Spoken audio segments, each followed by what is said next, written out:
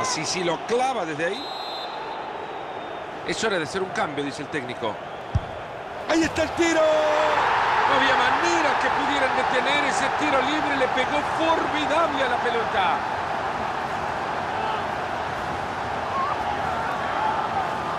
Ya tiene dos hoy. Buscará el tercero.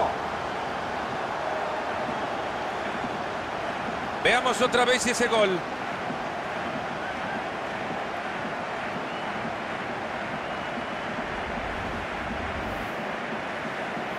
Se retira Mario antes de llegar al vestuario y ducharse.